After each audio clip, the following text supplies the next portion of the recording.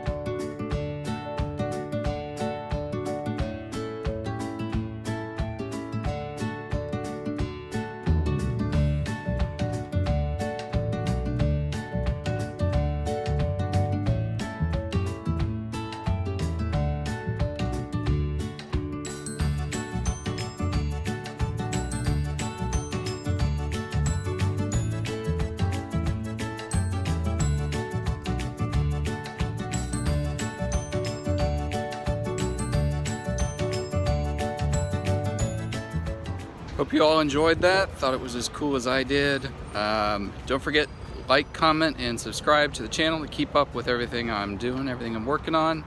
Um, and I will give you guys a hint. Um, I put a little Easter egg in this video as a hint to what my next video, uh, restoration video is going to be. So put it in the comments. I want to see if you can figure it out.